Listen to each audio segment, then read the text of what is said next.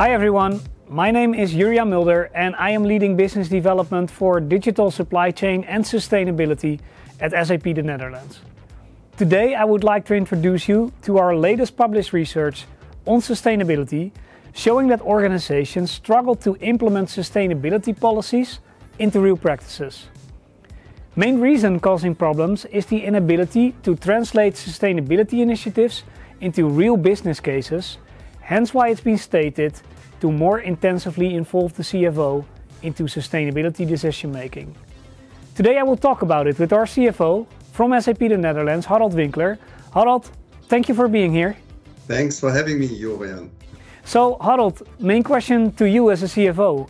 What do you think are the main sustainability challenges that companies face today? Well, Jurjan, complying with new regulations, investor and consumers demanding more information about sustainability. And these are, for me, the main challenges we are face, companies are facing.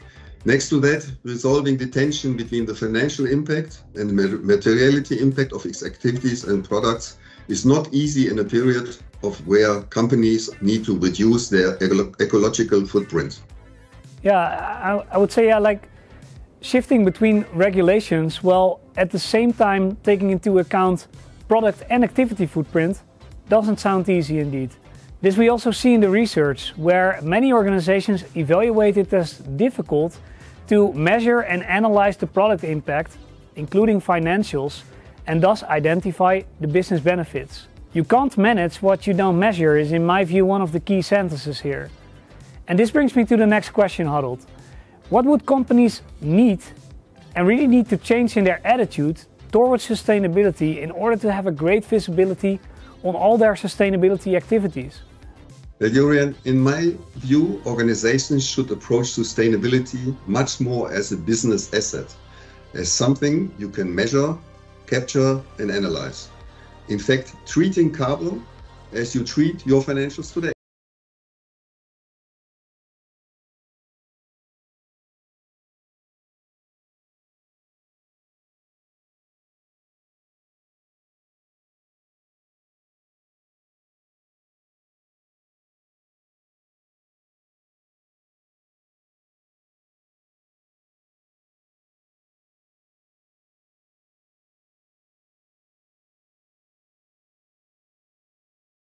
As if they are financials, you are really able to measure on progress and by that achieving a much better translation to value like we do in financials today. By this way, it becomes more transparent to make the link between sustainability and return on investment. You will work towards a situation where your top line, bottom line, and green line are meeting each other. That's interesting to talk about the idea on making sustainability metrics measurable like we do today with financial processes. In my opinion, one of the great things in our portfolio is that the data that you need in order to move from averages to actuals on sustainability is often stored in SAP software. Think about bill of materials, routings, and different types of master data, right? I, I agree with that. Uh, for example, thanks to SAP Sustainable Footprint Management, we use the data you mentioned in order to provide real actuals and translate that into financials as well. Via direct integrations of SAP Sustainable sustainability solutions, we are able to translate things like energy consumption, waste production, water consumption, and other ecological footprints into value. Furthermore, you can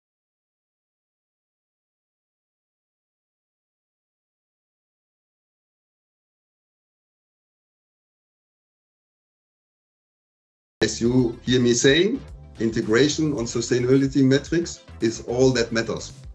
Ah, yeah, great, Harold. Um, thanks for your input. In order to quickly recap, I think three topics are very important innovation, measurability, and integration. With innovation, I mean in order to stay on top of your competitiveness and customer demand, companies need to make sure that they are innovating in a sustainable way using fact based data. With measurability, I mean making sure that you measure the data needed in order to steer on your actuals and not on your assumptions. And lastly, with integration, I mean making sure that you translate sustainability metrics directly into your core processes like supply chain planning and finance in order to measure results, cost savings, and efficiency gains. Yes, Jurjan, I completely recognize that.